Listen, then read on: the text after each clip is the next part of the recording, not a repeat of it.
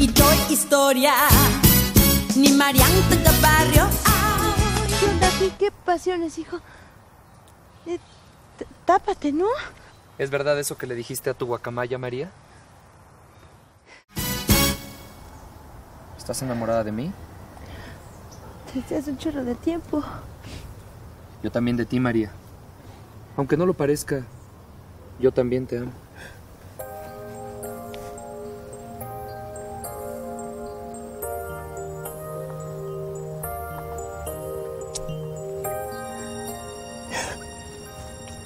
Qué lloras? Es que tú te estás pitorreando de mí. ¿No me crees entonces?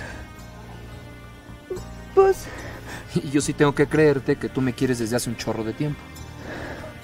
¿Cómo que desde hace un chorro de tiempo si hace apenas unos días que nos conocemos? bueno, es que tú apenas me acabas de conocer, pero yo ya te había vicenteado dos veces. Antes de venir a vivir aquí, a tu cantón. Desde la primerita vez, ando arrastrando la cobija por ti. Ya me voy, mamá. ¿Qué ves? Tu hermano está con esa chiquilla. Ay, ojalá no se vayan a pelear, míralos. ¿Dónde me viste?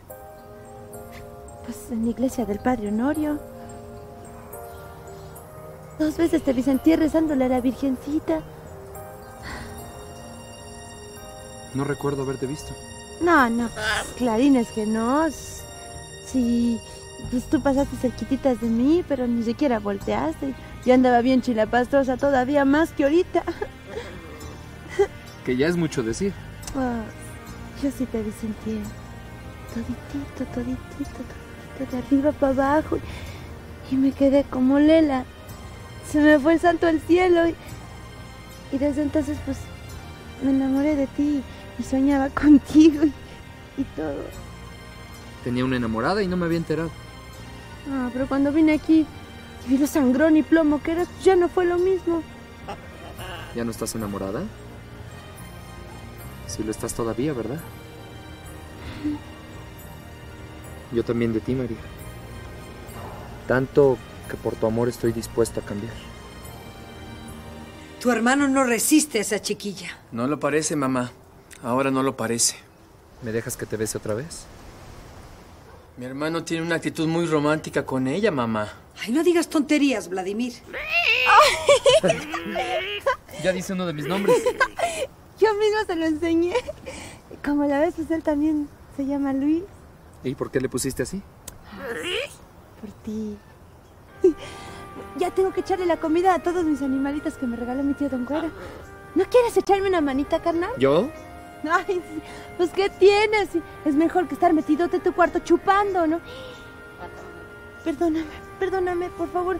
Se me fue, manito, pero, pero es la neta. Bueno, ¿qué? ¿Me echas la mano o no? No, desocúpate tú solo. Está bueno. Mis vidrios luego. ¿Sabes qué? Yo voy a pensar lo que me dijiste de que estás enamorado de mí. Ay, puede que sea verdad. Pero si me estás vacilando. Te juro que no. Y el tiempo te demostrará que digo la verdad. Eso sí, ni una palabra de esto a nadie. Todavía no deben enterarse. A nadie, a nadie. En lo absoluto. Bueno. Me pinto de colores a las jaulas, es que mis animalitos deben estar bien hambriados.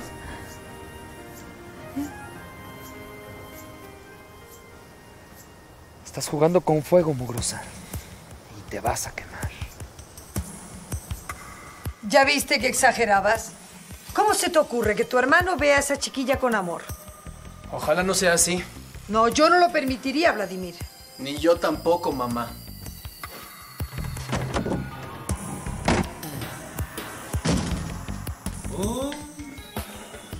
Creí que ya te habías ido. Por cierto, hermanito, te vi platicando muy animado con la mugrosita en el jardín. No tan animado como hablaste tú después, hermano. ¿Qué? ¿Me estabas espiando? No, yo no. Mamá, claro. Ella no quiere creer que la estabas enamorando. ¿Enamorando yo a esa? Por favor, Vladimir. Si para algo me interesa la fachosa, es como para entretenerme un rato. Eso lo sé. Pero quítate esa idea de la cabeza, hermanito. Si estás pensando jugar con María, olvídalo. No te lo voy a permitir.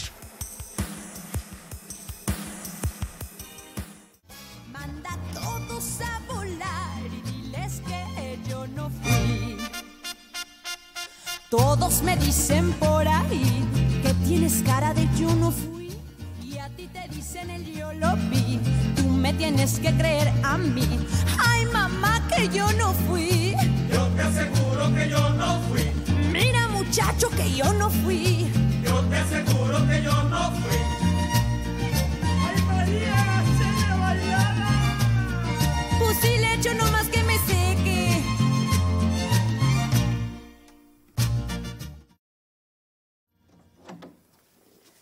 Quiero hablar contigo, Luis Fernando. Llegas muy oportuna, mamá. Yo también quiero que hablemos. ¡Qué sustote, mi Lupis! No sabía que andabas aquí tan calladita. Y se me olvidó el suerte, espérame. Estaba oyéndote cantar, viejita. Mira que estás contenta hoy, ¿eh? Un chorrotototote, mi Lupis. Si ando bien jacarandosa. Ay, ni que te hubieran hablado suave y bonito al oído. ¿Qué comes? ¿Qué adivinas, mi Lupis? ¿Me quieres decir por qué tanta alegría y tanto canturreo? ¿Me vas a guardar secretos, chamaca? Pues la neta, no. Total, yo no le prometí a nadie que me iba a callar la buchaca. ¿Sabes qué? Ahora sí que ando cacheteando el pavimento por Luis Fernando más que antes. ¿Ah, sí? ¿Y por qué, chamaquita?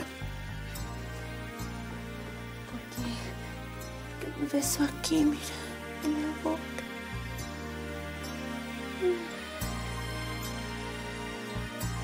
Te vi hablando con esa muchacha en el jardín. Me alegra que no hayas peleado con ella. Creo que es mejor llevar la fiesta en paz, mamá. Pero no es de la muchacha de lo que yo quiero hablar, sino de mí, de mi vida, ¿Qué me quieres decir, hijo? que he decidido cambiar, mamá. ¿Pero cómo lo dejaste, chamaca? Ah, pues si dice que está enamorado de Miguelita. Y tú andas de crédula. Ah, pues ni tanto, mi Lupis. Si yo le dije a él que lo iba a andar pensando porque me latía que se andaba pitorreando de mí. Pues no lo dudes, mijita. Ya hace muy mal el joven Luis Fernando en jugar contigo. Si yo no fuera más que una sirvienta en esta casa, le ponía una regañiza de padre y señor mío. No, no, Lupe, mira, ven, siéntate, siéntate. Oye, no, no vayas a soltar la lengua. Mira que me pidió que guardara el secreto. ¿Cuál secreto? Bueno, que, que, me dio mi picorete y, y que está enamorado de mí. Ay, eso es mentira. Él no puede estar enamorado de ti. Porque ustedes son muy distintos. ¡Clarines! Ay, ¿a poco crees que yo no sé que él es riquillo? Yo soy una poca cosa. Si lo sabes, ¿para qué le haces caso, chamaca? Pues es que me, me sentí tan suave en sus brazotes así rete fuertes. Y vi lucecitas cuando me besó. Un besotote a todas margaritas. Ay, Dios mío, el joven te va a dormir. ¿Qué, qué, qué? No, hombre. Eso se pensará él. Pero naranjas chinas, mi Lupis. Si yo voy a estar bien busa. Y si a Davis me quiere, pues mira, ahí le voy haciendo tantitito caso. Pero si me late que me está viendo la jeta y me quiere dar una puñalada trapera, me lo descuento, mi Lupis, me lo descuento. Ay, Dios te proteja, chamaquita. Ay, no te preocupes, mi Lupis. Si Diosito, mi madrinita, mis papacitos que están en el cielo y mi Virgencita de Guadalupe me protegen. Probablemente complazca a papá terminando mis estudios, trabajando. ¿De veras, Luis Fernando? A ti también estoy dispuesto a complacerte. Bueno, yo... ¿Qué quieres tú? Que siente cabeza, ¿verdad? Que me case con Soraya. Es la indicada para ser tu esposa. Pues me casaré con ella. Tendré un hogar, hijos. Te digo que voy a cambiar y cambiaré. ¿De verdad Luis Fernando te dijo que quería casarse conmigo, tía Victoria? ¿Cómo lo oyes? Así que no pierdas más tiempo, invítalo a salir. Es un buen pretexto. La inauguración de la temporada de ópera mañana en la noche, ¿no? Magnífico, ese será el inicio, Soraya. A partir de ese momento no te separes de Luis Fernando hasta llegar al matrimonio con él. Sí, Soraya, estoy puestísimo para la noche. Tía Victoria está contentísima. Ya me contó que decidiste cambiar de actitud y también que te gustaría casarte conmigo. Claro que después de que andemos un tiempo de novios, para conocernos bien y no querer divorciarnos enseguida. Estoy de acuerdo contigo. Bueno, Soraya, nos vemos en la noche para ir a la ópera.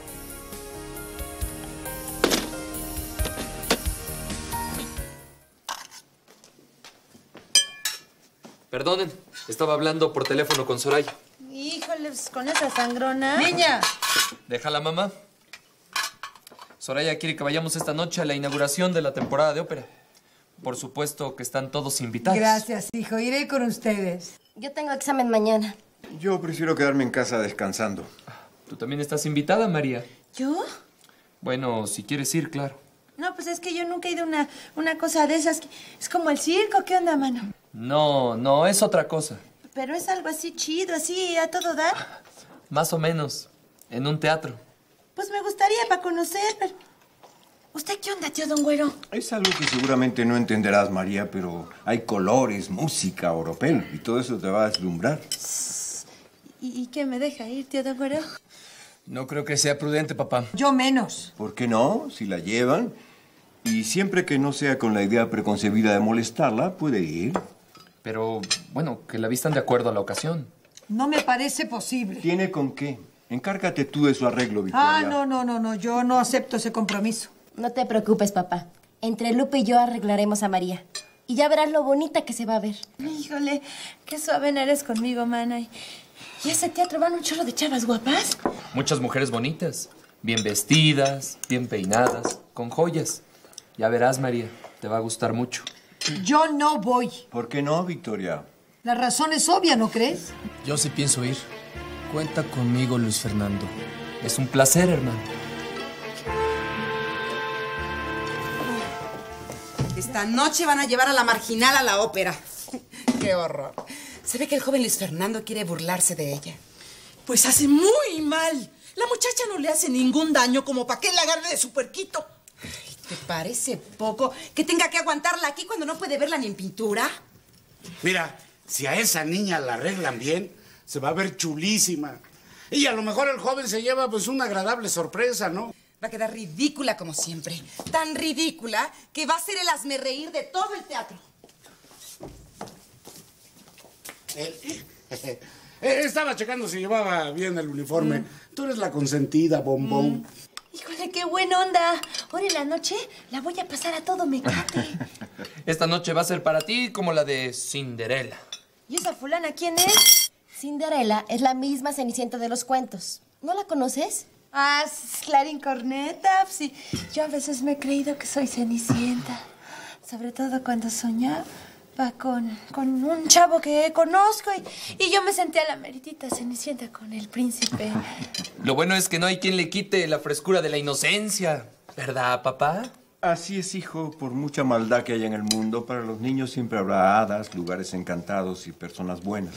Ay, qué rete contenta se va a poner mi madrinita cuando me vea en el teatro. Pues si a ella le gustaba a un resto de la gente popopona. ¿No ven que cambió de sirvienta en muchas casas popis? Tú también llegarás a ser popis, María. Yo ni lo mande, Diositos. Yo no quiero ser riquilla ni ruta Catrina. ¿Por qué no? No, pues, dispénsenme ustedes, pero pues para mí todos los riquillos son, son como Judas. no, de veras, bien canijos y músicas. Ah,